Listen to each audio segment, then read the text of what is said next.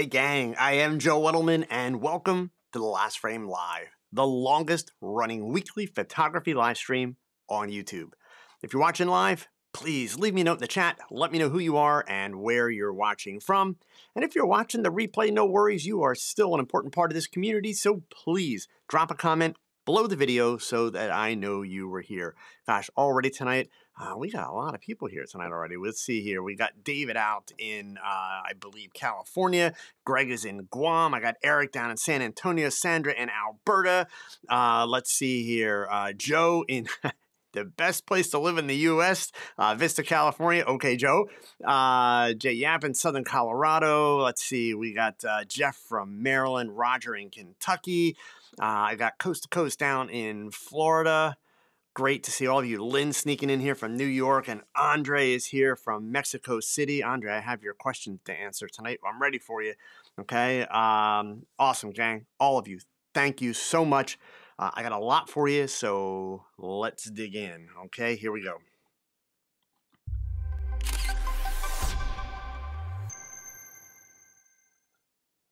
All right, so the power of AI technology gives us a cool new feature in Adobe Lightroom and Camera Raw, and that is lens blur. Next week, I'm gonna actually show you a demo, break it all down, but just so that you know it's there, so you can go and check it out and give it a whirl and play with it because it's got a lot of potential.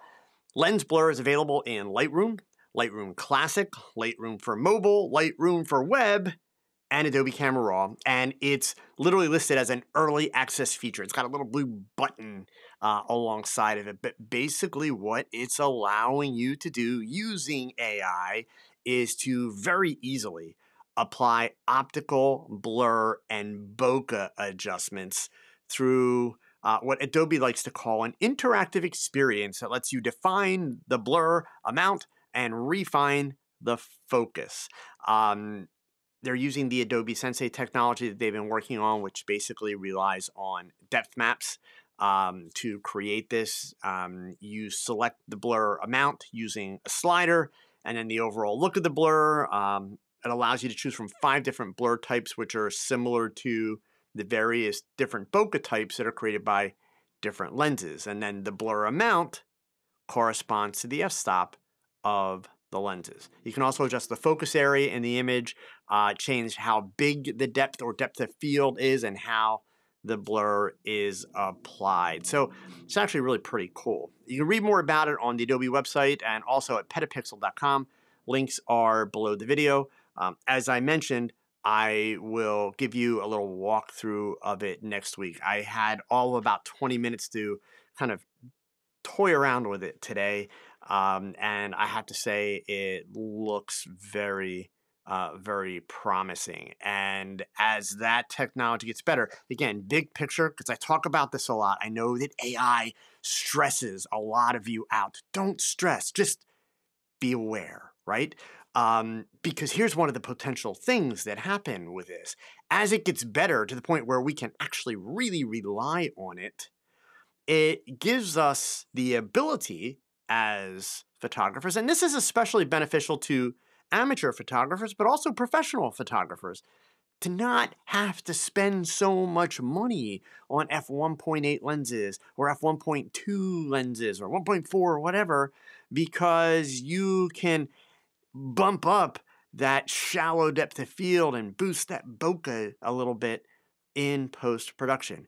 Is it there yet and is it amazing yet? Well, it's an amazing thing because of what it's able to do, but no, it's it's not ready for prime time in terms of yeah, don't spend the money, just go with 2.8 lenses and you'll still be able to get f1.4 bokeh. We're not there yet, but I'll tell you what, wouldn't surprise me if we get there not too far down the road.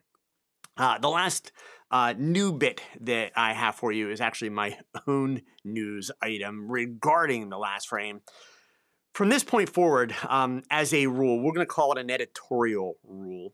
I'm not going to report on new cameras, new lenses, new lighting gear, unless there's some feature that is just revolutionary in the industry and is likely to change the way we approach photography. So the photo news section is going to uh, stick to industry updates and issues that impact the hows and the whys behind what we do.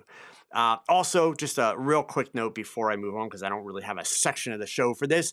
I just wanted to apologize for all of you that I had to cancel last week's show, but I'll give you full disclosure. It's not a big secret. Unfortunately, my wife took a tumble down a set of stairs while actually I was out of town last week or two weekends ago doing a presentation. I was fortunate, I was in my car on the way home. She uh, very adeptly managed to break four ribs the 9, 10, 11, and 12, uh, bruised her left lung, and broke a toe. Uh, so she has obviously been rehabbing. If you've ever broken ribs, uh, you probably understand it's extremely painful, especially for the first couple of days of the first week. Uh, so we've been, you know, working through that, and it just kind of turned life upside down a little bit. But she's doing great. She's going to make a full recovery. Uh, I'm finally getting back into the swing of things. Uh, so I'm excited to be back here tonight. But that's my excuse, and I'm sticking to it.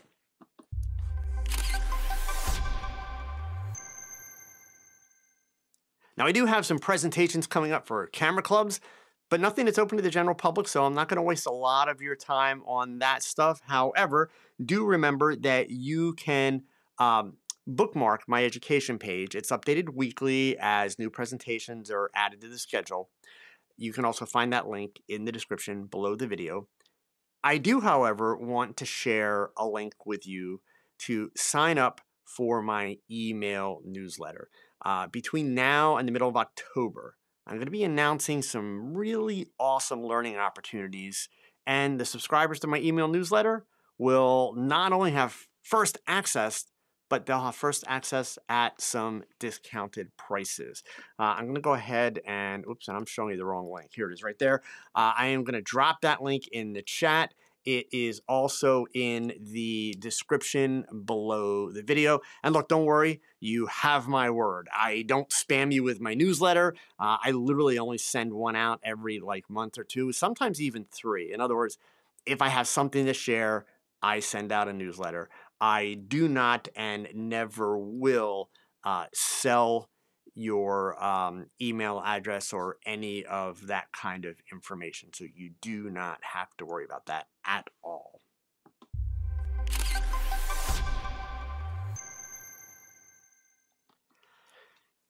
My mother, yes, my mother, was born and raised in the East End of London, England, and she spent her early teen years experiencing World War II. Because of that, the British royal family was always of interest to me. And during my early teen years, as I was getting into photography, I first became aware of a British photographer who had photographed many members of the royal family and who is responsible for many of the iconic images that we have of the royals. So this week's quote is from the British icon Norman Parkinson. The quote The only thing that gets in the way of a really good photograph is the camera. Parkinson, who lived from 1913 to 1990, was a British portrait and fashion photographer who revolutionized the field. His work has appeared in major publications such as Vogue and Harper's Bazaar, and his photographs were really pivotal in creating the age of the supermodel and certainly made him the photographer of choice for many celebrities, artists, presidents, and prime ministers. Um, he was definitely a permanent fixture at historic moments, photographing the British royal family, both in public and private, uh, as well as leading figures from the worlds of film, theater, and music. Uh, some of his more famous subjects included Audrey Hepburn, the Beatles, Twiggy, Grace Coddington, David Bowie, Iman, Jerry Hall, and that list goes on, right? So his quote is an excellent lesson, in my opinion, for both new and experienced photographers. It's often said that when photographing people, 20% of the task is photography. Some would say, myself included, that's the easy part. And then the remaining, the 80%, is psychology. To me, this quote highlights that point as you can see in Parkinson's work that he's an excellent storyteller. and excels in bringing the viewer into the scene with the subject.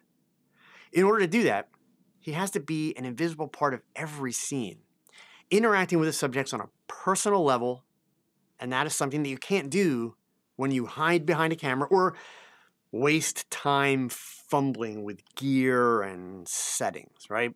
So I have a link to his website in the description below the video. I encourage you spend some time there. Read his bio and study his images. You will learn a lot.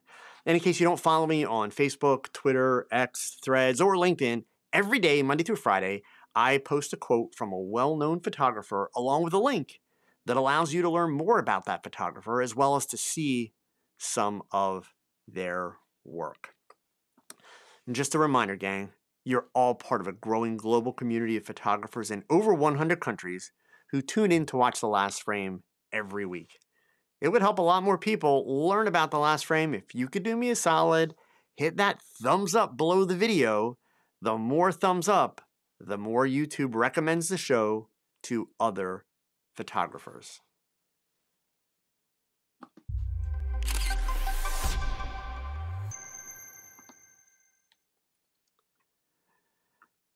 Our 10 minute lesson for tonight. Stop asking, what's the best? Easy for me to say, right? But what should you be doing instead?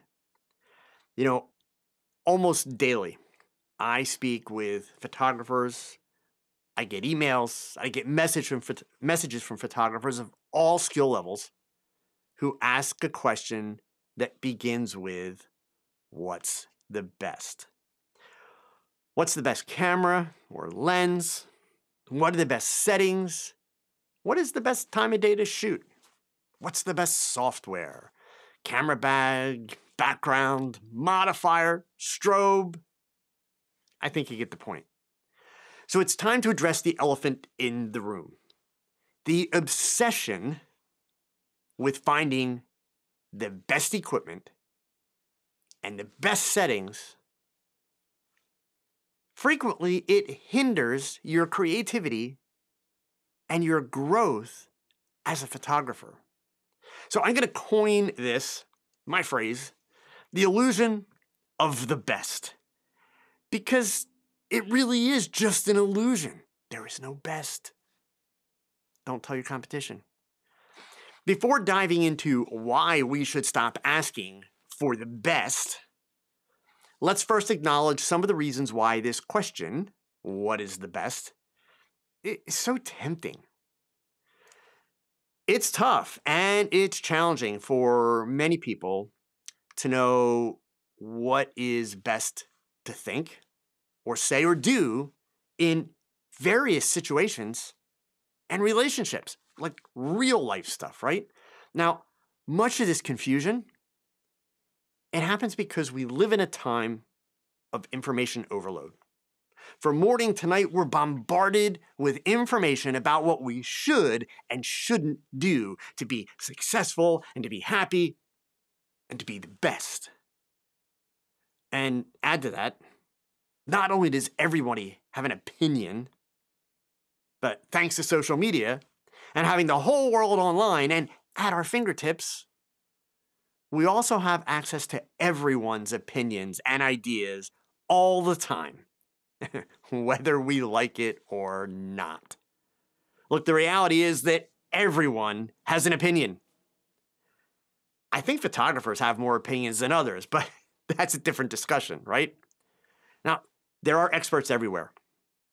And this brings us to the first reason that we all want to be right or correct. We're trained, not taught. We are trained. The training begins all the way in preschool. And that lesson, it's reinforced for the rest of our lives. Being wrong just sucks. Failing sucks. Unless, of course, you're failing for the right reasons. All of you genuinely creative folks understand that idea of failing for the right reasons. Now, the second reason, and the part that impacts our conversation the most, is that it's human nature to seek efficiency and perfection. I know I struggle with that one. In photography, we often believe that having the best tools will lead to the best results. And since gear is so expensive and the fear of failure is so intense, we want the best and we want to be sure that our choices are correct so that we can have a false sense of confidence. Yeah, it is a false sense, even though it feels like confidence, it's a false sense of confidence. Not to mention, this gear we're talking about, it's expensive. So we don't want to find out that we purchased the wrong item, right? We want to buy the correct item. Now, we all know that it's not the camera or the gear that makes the image great. Just don't tell my wife I said that, please. You know what I'm talking about, right? Look, the problem with this mindset, serious note here, the problem with this mindset is that it oversimplifies the complex art of photography. Yes, photography is complex, regardless of how simple Apple might make it in your smartphone or Google in your Pixel phone, right? What's best for one photographer or situation may not be for another. There's simply no one size fits all answer to questions about settings or lenses or modifiers or software because photography is inherently subjective. The only aspect of photography with simple answers that can be answered with best, those are the elements of physics. Things such as depth of field, the inverse square law, optical properties, stuff like that. They're all simple because they're controlled by math and physics, which also means they're predictable, right? So that brings us to the importance of context. One of the fundamental reasons that we should stop asking what is best is that the correct answer depends on the context. What emotions or stories do you want to convey? What are the environmental conditions? What's your personal style? How will the photo be displayed? Who is it for? And I could go on and on and on. In short, it all comes down to one of my favorite words and questions why? But the answers to those questions who, what, when, where, why, and how they give us context. Those factors should be crucial in determining the right choices for your photography. Let's use a little science for a second. Research in psychology and also photography education has shown that asking the why questions and considering the context will significantly improve one's photographic skills. So, for example, emotion in storytelling.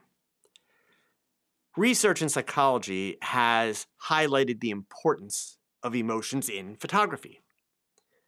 You can make more deliberate creative choices by asking yourself, why are you taking a particular photo and what emotions do you want to evoke?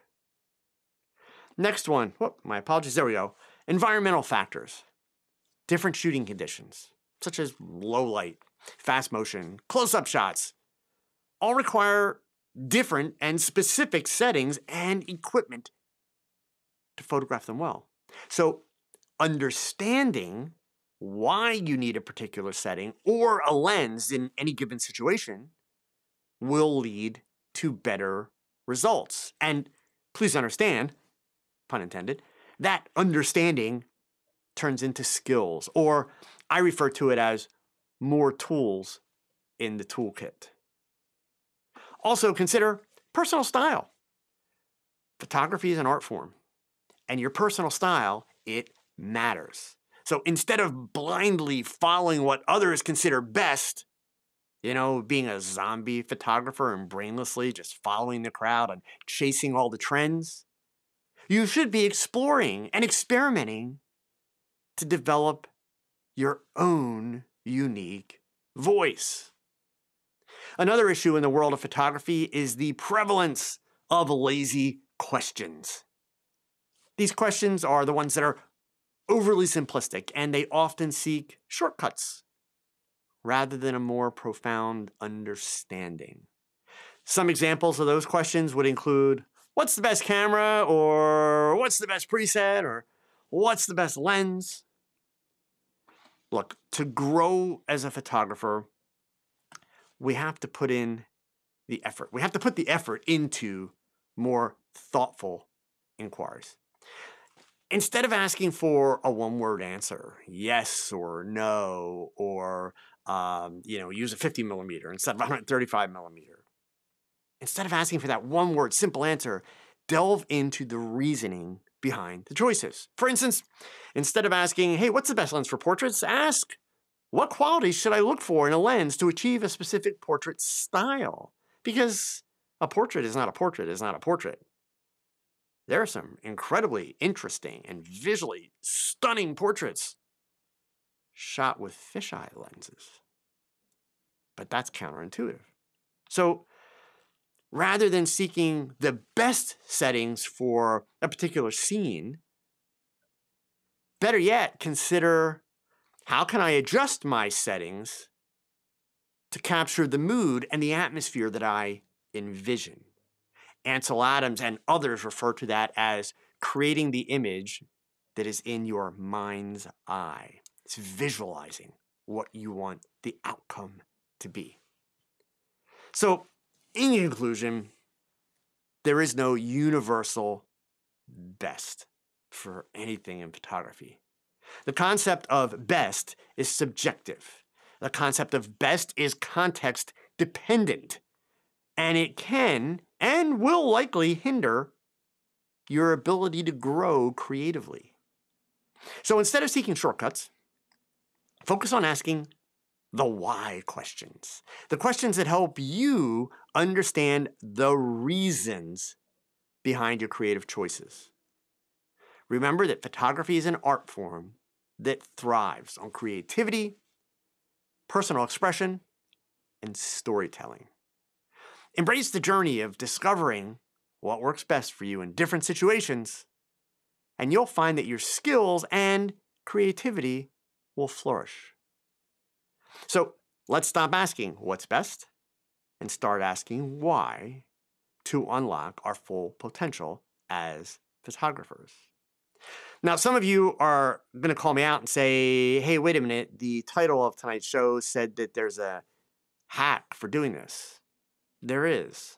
So let me give you the hack in a short, concise statement. Stop being lazy. Do the work. That's how you get good at this stuff, right? Okay, so listen, did you hit that thumbs up yet? Hopefully you did. If you're still watching, come on, right? You must be finding some value in this program. And, and by the way, like if you really think I'm wasting your time, you can go ahead and you can hit the thumbs down too. It's okay. It helps me either way, right? I'm just asking for your help to get the word out. Okay.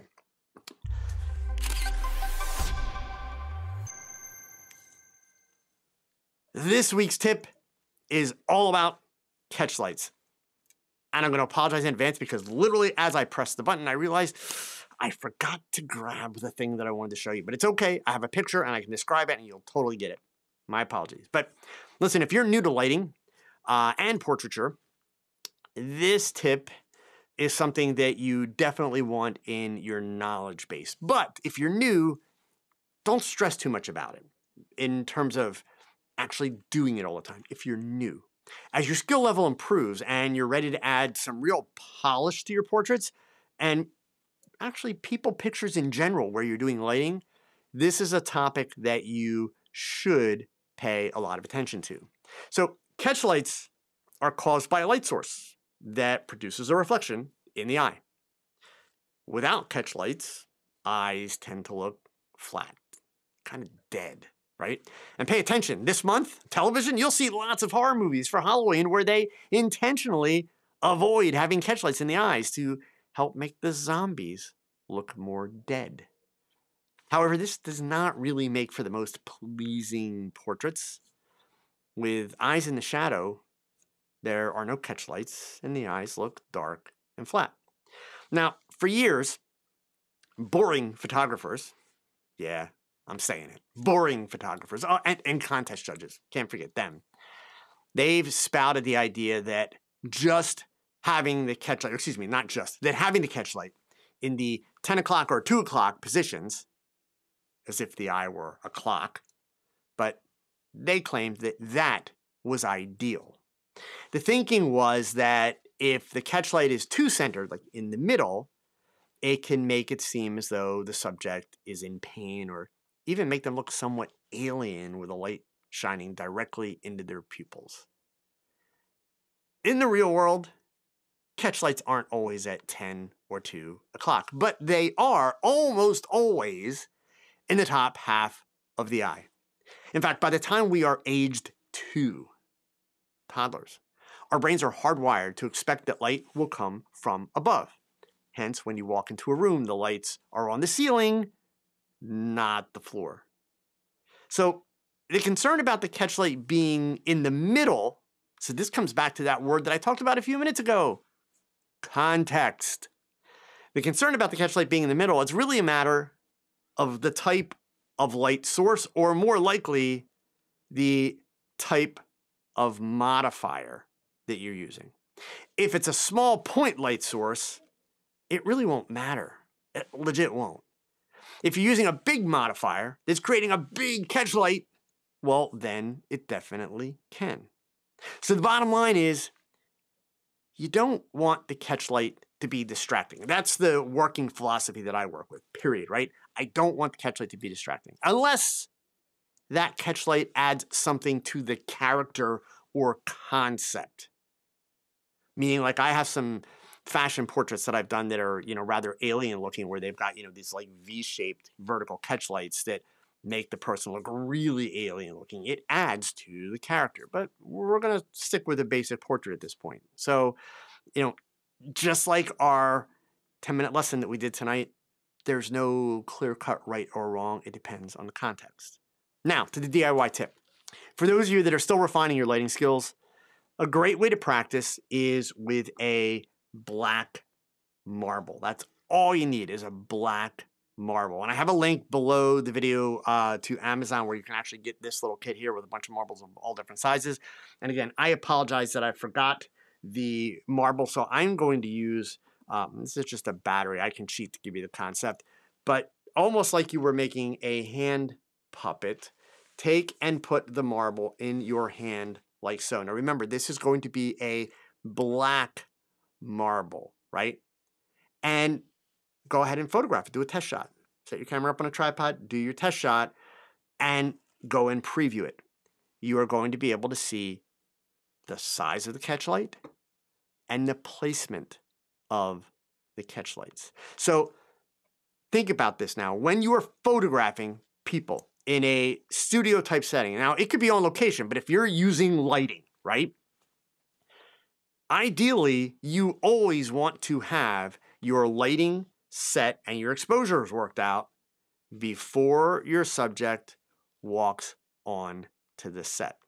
Super important. That way, you are able to pick the camera up and start making pictures right away, which builds your confidence and also has or creates a situation where your subject will relax and have more confidence in you and what you're doing.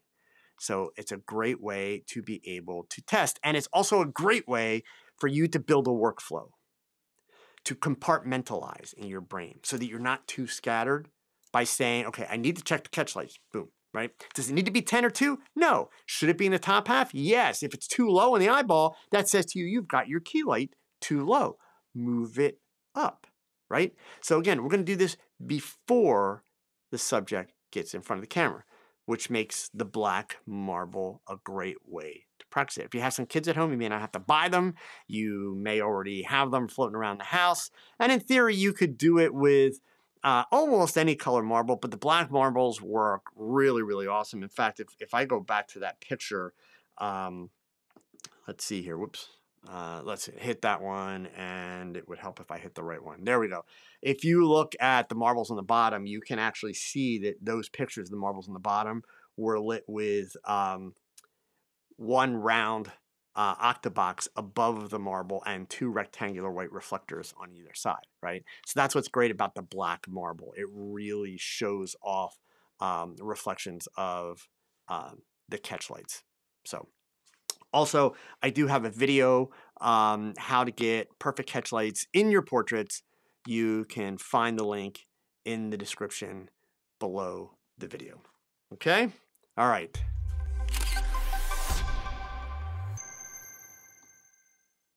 Woohoo! My favorite part of the show.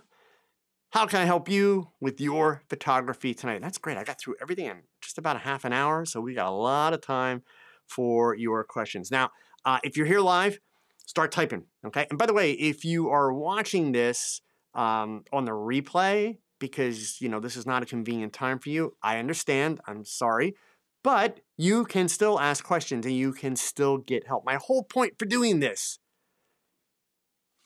is to offer my knowledge to you for free.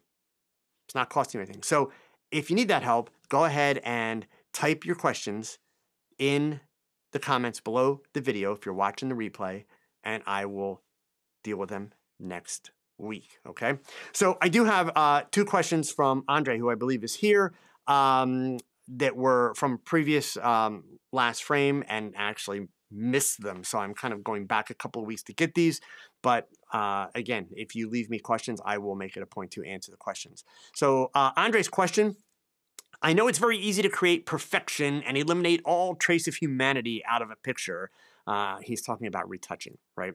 Uh, just as it is sometimes done with music. I guess that's a reference to like auto tune. Um, he goes on to say, I tend to edit in a very natural way to avoid that, but that sometimes looks a bit flat. So his question is, how can you tell when you over processed and over edited a picture? Can an over-processed picture look more interesting than a properly processed one? So, Andre, first of all, thank you for asking the question the way that you did because it wasn't a lazy what's the best, right? The challenge with your question is there is no definitive answer that I can give you to the, the two questions that are in there, right? How can you tell when over processed, uh, when you over processed or over edited a picture? And can an over processed picture look more interesting than a properly processed one? So, actually, the second question yes. Can an over processed picture look more interesting than a properly processed one? Sure, and that, that phrase properly processed, I understand what you're talking about. We're gonna I'm gonna fr- change that phrase for the sake of conversation to more naturally processed, right? Um, sure, it can, but remember, all art, all creativity, it's subjective, right? So the real question is actually the first one how can you tell when you over processed or over edited? So there's a couple pieces of information that I can give you that I think will help you, but there's no simple answer. Like I can't tell you um you know if it if the face starts to look this degree of plastic it's over processed whatever. Um, it's one of those things that with some practice in terms of your processing skills and training your eyes, which we're all working on, to uh, really pay attention to details and to see things a little bit um, more clearly through the eyes of others, you will kind of learn where that sits. But here's what I'll tell you has been my experience. So, number one, when it comes to learning retouching, I liken it to going on a roller coaster ride, meaning you start out, you've got no skills. So you're at the bottom of the first hill. You have no idea what's ahead of you, and you're a little bit intimidated by it. And as you start to learn things and you start to pick up some skills, you start climbing that hill and your work starts improving, which is really exciting, right? And then you reach a point, which is the top of the first hill, that big hill, where you kind of look back and think, wow, look where I was, look where I am, my work, it looks so cool. And then you tip over the top of the hill and you start to go down that first big hill. Well, while you're going down that first big hill, the quality of your work is actually starting to go down too, because what's happening is you're actually kind of so excited about all these things that you can do now, you tend to overdo them. We all do. Everyone I've ever watched, learn, myself, every photographer that I've ever talked to, it's just a natural thing. It's a human thing. And then on the way down, you kind of take a look back at your work and you start to realize, like, ooh, I've overdone it a little bit. So, you know, you hit bottom and you back off a little, and then your work starts to climb back up the second hill. And while you're on the way up the second hill, you start to learn some other new te- techniques and some other skills, and things get even better yet. And even though the second hill is not as big as the first hill, it's really exciting because the work's getting better and better. But then you crest that second hill and start going down. And on the way down, you look back and you're like, oh, yeah, those two new techniques that I learned, I'm overdoing them a little bit. I got to back it off, right? So that's what you're going to experience, number one. Number two, uh, ultimately, only you can decide what's over processed or over edited. However, if you go back to my conversation about what's best, keep in mind the other questions the why, what, when, where, how. Why did you take the picture? Is it a portrait for a business website? Well, if it's a portrait for a business website, you probably shouldn't do like a glamour retouching because that's going to look a little weird, right? It should be probably a little bit more natural. Uh, if it's a portrait for uh, a dating app, well, then the person's going to want to look their best, so they're going to want some retouching. But at the same time, you don't want to completely overdo it either because then when they meet someone from that app, they don't look like themselves. So the real answer to your question comes down to context. Okay? Now, Andre had a second question uh, that I owe him an answer to. Uh, he says, I'm using Darktable and it's very in depth. Yep. Uh, looks like there's quite a number of ways of doing the same thing. Yes, just like in Photoshop.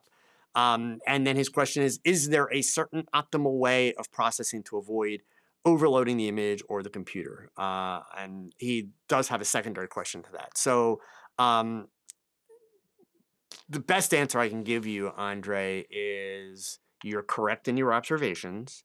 And is there an optimal way? No.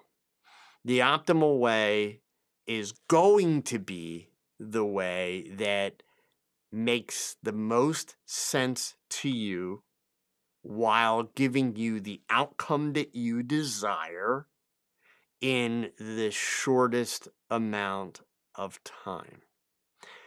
The only way that you figure that out is by trying them all and experimenting, right?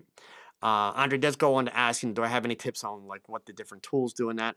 I don't specifically for Darktable, but you can Google that and you will find tons of information. Uh, I'm also confident that there are uh, probably tons of videos that are out there, um, uh, you know, about Darktable. I know there are quite a few very dedicated Darktable users that put out a lot of content. Uh, in fact, if you Google a gentleman from Australia, um, he um, his name is Bruce Williams uh, or eh, actually look for him on YouTube. He does a lot of videos and tutorials about Darktable uh, and will potentially be able to help you out there a little bit. Okay. All right. So I am scrolling back through the list of questions here. Um, and let's see. Um, Michael's got a question. I don't know about this one, Michael. This hopefully maybe this is a crowdsourced one because I don't think I am going to have a great answer for you. Let me get back here so I can uh, put it on the screen. Um, he says, "Is anyone having problems with Lightroom 13 converting uh, the V12 catalogs?" Um, folks, if any of you happen to know that, uh, even if you're watching the replay and can help out with that, type some information, maybe point Michael in the right direction. Uh, Michael, I'm sorry, I'm not a Lightroom user. I don't use the catalogs, and I, I, I don't even want to guess and send you on a wild goose chase because I know how frustrating that kind of stuff is. Um, I would say um, I find that with software situations like that, more often than not, if I have the problem, there's a lot of other people that have the problem, which means that there's going to be a lot of support information available. So I would check out the Adobe website and their forums first if you're looking for maybe maybe you can get lucky enough to find a quick fix kind of scenario.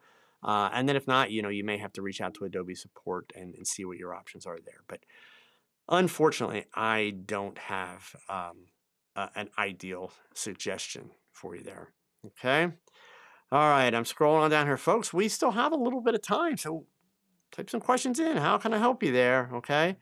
Um, oh, Anya, there's a, a, a great quote. And you know, I used to know who that came from. The best hack: never expect results from the work that you did not do. Uh, yeah, I mean, uh, you folks may or may not know. You've seen the pictures. My grandson plays baseball, so I'm a big baseball fan. The Philadelphia Phillies, go Phils! They're uh, in the National League championship series right now. And one of the things that we teach young baseball players is you can't steal second base with one foot on first. So yeah, you're not going to get results if you, you don't do the work. Uh, and unfortunately, gang, you know, that whole idea of asking the simple questions, the lazy questions, it's just not not going to get you where you know you need to go at all. And it may solve a problem that's like standing in front of you so you can go make a picture but it really hasn't helped you. It really hasn't. Because if you actually understood the solution in that moment, you probably would have been able to be that much more creative and do even more, right? Um, Anya's question here um, What do you think about ring light catch lights? Um, Anya, I think probably I think about them the same as most people do at this point. Sick and tired of seeing them, right? Um, I've never liked them at all period. Uh, simply because they are distracting and very unnatural. Um, that being said, if you have a ring light, you know, if you have limited resources but happen to have a ring light and want to be able to use it, keep in mind it's just a light. So you can take that ring light and you can move it off to the side, and now you don't have the circular catch lights in the eyes, right? It's maybe it's your your fill light or or something like that. That's an option. Uh, I do own a ring light. I own the Godox uh, ring light attachment for the AD200s, but I never use it for close-ups or portrait work. I literally this it was kind of a gas purchase for me. I'm not gonna lie, I I fall for that too, but I have a specific lighting technique that I do, and I'll try to make it a point to to make one of those images, this shoot breakdown, um, in a couple of weeks. Okay, but um, I have a lighting technique that I do where I use the ring light and I place the subject about a foot off of a background, a colored background. Um, that ring light creates kind of a ghost shadow around the person. And because it's a full length or a three quarter length picture, the catch light is so small, we don't see that it's the circular catch light. It just looks like a regular catch light. Um, but even then, you have to be a little bit careful because depending on where you're shooting, top to bottom. So if you're positioning your camera at the midpoint of the person's body, that puts the catch light below the horizon line in their eyes if you do that. So again, th- there are trade-offs in that respect. Um, so I'm not a big fan of ring lights unless they have been used in a very creative way. That's that's the whole key, right? So that would be my kind of challenge to you if you're going to use a ring light. Uh, let's see here. Red Rob, how did you find paying clients when you started? That's the ultimate question. So keep in mind, you know, I the first time I had to worry about paying clients, let's do it that way, worry about paying clients was 1982, 83. It's when I left the newspaper business and had this incredibly stupid idea that I was going to open a portrait and wedding studio. Uh, stupid because I failed initially. Uh, I've told that story many times. It was thanks to a, a, loan manager at a bank who really saved my butt, did not repossess my car, and taught me how to actually financially run a business that I was able to turn it into an extremely successful business. But um, that was in the 1980s. So you found uh, customers two ways, literally two ways. Um, okay, there was a third and fourth. I'll tell you all four of them, but the third and fourth I never used. I never did them. Number one, uh, photographers who were successful. And by the way, I'm telling you this story because it's actually the same answer for today. So I will connect the dots for you. Um, photographers who were successful, meaning they were they were making money and paying their bills, they took out ads in the yellow pages, um, and it literally correlated. The, the the more money the photographer was making, the bigger the ad they would take out in the yellow pages. Uh, and people would look at that and say, "Oh, this photographer must be better because they have a bigger ad." I'm not kidding. That was the thought process. Those of you that are old enough, you know, you did it. You were more likely to call, you know, a company that had the bigger ad than than the little tiny ad, right? So, uh, number one version of marketing was the yellow pages. The second version was word of mouth. The challenge back then was, you know, word of mouth from an excellent customer experience that you've provided could take six months, a year, two years, or more to kind of cycle back around and give you a new client or, or you know, a new job. So um, while it worked and it was very effective, uh, it wasn't exactly efficient, at least not by today's standards, right? Uh, I mentioned there's kind of a third and a fourth. The third and a fourth, um, in small towns, a lot of photographers would take out small ads in the little, uh, we used to call them penny pincher uh, newspapers, right? Kind of the little community type newspapers where you could get small ads in the classifieds or small display ads really inexpensively. Um, the problem with those, that was kind of like the newspaper version of advertising your photography on Craigslist, right? Um, the people that were looking for photographers in those uh, penny pinchers or shopper newspapers, they were the clients that didn't really have a budget. They didn't have a lot of money. So they were the clients where today, you know, we, we call them tire kickers, whatever, but they were the clients that um, you were kind of bottom feeding financially if you were going after those clients. But for some photographers, that was their place, and, and that's how they survived. Uh, and then, literally, the other version was um, brochures and flyers. Uh, literally, a lot of photographers in, in the areas where I worked would actually print out little eight and a half by 11 flyers with the little peel off pieces at the bottom and stick them on the community bulletin boards where you walk into the supermarket right? And advertise, um, you know, specials on Christmas portraits or family portraits or that kind of stuff. Um, that's how you got business. Um, fast forward to today, which I'm going to assume that's really more of what you're interested in. You know, is how can I get clients now? Um, it's actually really the the same way as what we used to do it. Okay, uh, but let me explain. So the yellow pages. We don't need the yellow pages today because we have this thing called social media. And that's where people go, which is awesome because we don't have to pay for social media, which is incredible, right? Uh, the problem is most photographers haven't figured out how to use social media properly. And it's really very, very unfortunate because I use social media exactly the same way I marketed my business in 1986 exactly the same way. Social media and advertising on social media is not some invention of technology, right? Social media marketing is not a technology thing. Social media marketing is using technology, social media platforms, to be social. It's using these platforms to do exactly the same things that we did back in the 1980s, the same things that people were doing, that businesses were doing in the 1960s, in the 1950s, because it actually hasn't changed.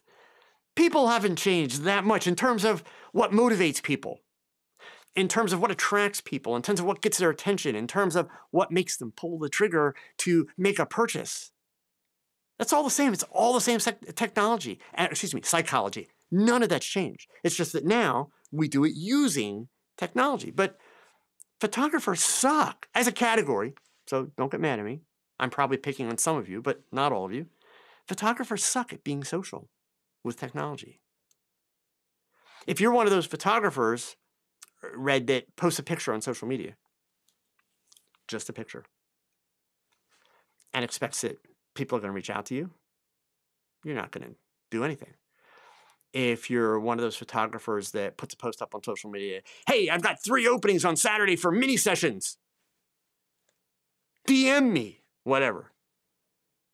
You're not going to get many people DM you unless you're charging rock bottom, cheap prices, meaning you're not making any money. Right? Social media, those two words. What's the first word? Social. Posting a picture on social media without any information. And I'll tell you what kind of information be, but so putting a, a picture on social media without any information, here, bear with me one second. It's kind of the equivalent of walking into a party with people that you've never met. I, you know what, for that matter, people that you know. It's like walking into a party, seeing somebody, and walking up to them and going,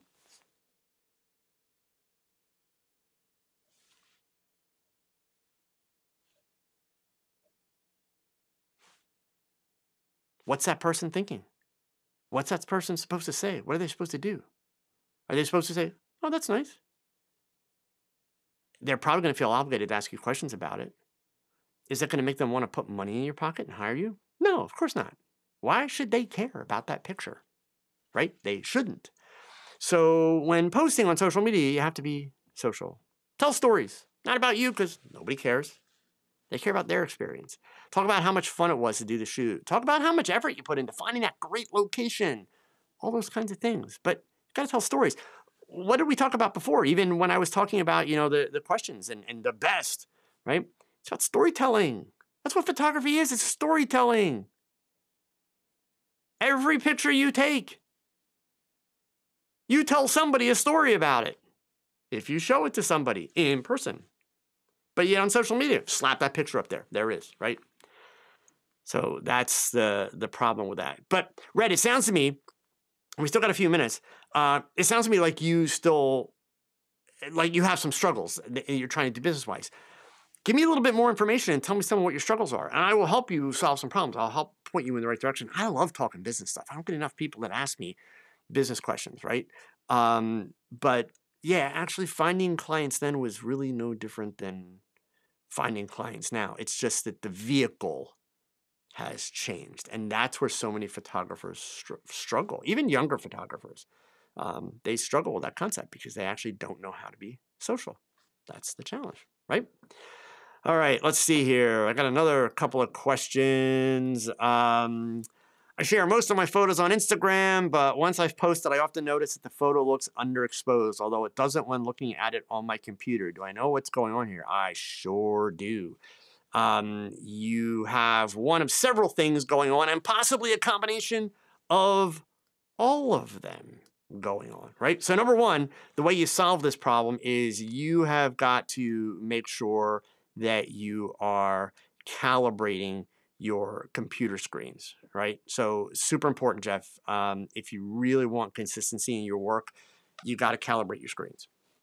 Once you know you've got your computer screen calibrated, then you have to ask yourself, where do I have the brightness setting on my phone? Right? If you've got your phone on auto brightness, that means every time you look at the phone, every picture you have is going to look completely different. So, you know, for me, I have usually have my brightness uh, on my phone set kind of pretty much like right in the middle, right, of the, the brightness scale. And that's kind of where I leave it, right? I don't want it up all the way bright. But how did I come to that conclusion? Calibrated my computer, put a picture on the screen that I had worked on that I liked the way it looked, and a picture that had good range to it. Put a copy of that picture on the phone and held the phone right next to the computer monitor and adjusted the brightness of the phone until the two images looked the same. One of the challenges, Jeff, when you put pictures online, um, it's impossible to completely control the experience that every other person will have with the picture for that very reason. Most people don't have color calibrated monitors. Uh, most people don't have calibrated phones. Uh, you know, they may have True Tone turned on their phone, which is going to make all your images yellow if you're an Apple user, right? Or they're an Apple user. Uh, so there's all those factors. But for your own situation, yeah, it's a calibration issue. So uh, it starts with the idea you should definitely have your computer calibrated. Uh, and if you already have, um, literally just put the same picture on both devices, hold it next to the screen, and adjust the phone. And now that's where you want your phone. Done right? But that doesn't mean it's going to look amazing on every single person's device. Unfortunately, there's uh, there's actually no way for us to be able to, you know, to control that yet. Uh, maybe down the road, hmm, who knows? But um, I I kind of don't see see that happening. Okay. All right. I think I got all the questions. Oh wait, uh, El Ram's got one here. Uh, Joe, how do you deal with customers who are never pleased, even though you as a photographer were really clear as to what they were getting uh, with samples and style and fully under contract? Yeah, that's always a fun question. So um, I guess what concerns me about your question, Aram, let me start here, is that you use the word customers, meaning plural. So I don't know you, I know nothing about your work, right? And and since we're coming up close to the end of the show, uh, I would love it if you'd be willing to share maybe a little bit more information with me, uh, maybe in the comments afterwards about your workflow and that. Come back next week. I promise I will spend some, even more time with you. But here's some things that come to top of mind. Number one, when I hear plural, that usually says to me that you've got to start looking at your workflow better. Now, obviously, I can't make an accusation because I don't know you. I haven't seen what you communicate and what you tell people, etc. But think of it this way one thing that we know for sure, because we've all experienced this, all of us. I don't care if you're doing business or not doing business, right? When you make something or you build something or you schedule something or plan shoot, whatever, doesn't matter what it is, you understand it because it came out of your head. You thought through it. You figured it all out. You get it. And then we find ourselves kind of gobsmacked sometimes because we thought we explained it so clearly, so simply, so obviously, but yet the other person, it's like, how do you not understand? Trust me, I've been there many times. I, that's part of the human experience. So if you legitimately have a plural situation there, that says to me that you need to work a little bit harder about communicating not in your mindset, but in your client's mindset.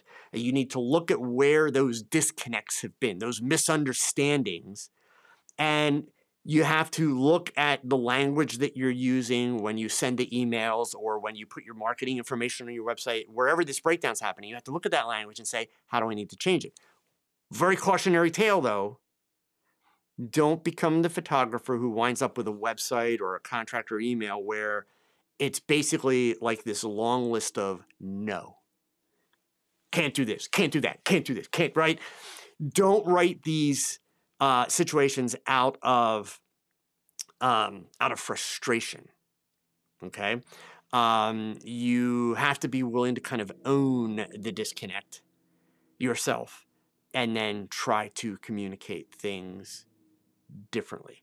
Um, I will also tell you, I have experienced many times, but all but maybe once or twice, I've caught it before it got too far. I've experienced situations where people come to me and say, Oh my God, I love your work. It's amazing. It's amazing. Can you do this? Meaning they want something that some other photographer did. And, and then if you go look at my website, there's nothing on my website that looks anything like this picture they're showing me, right? In my younger days, I would make an attempt to do what they were after.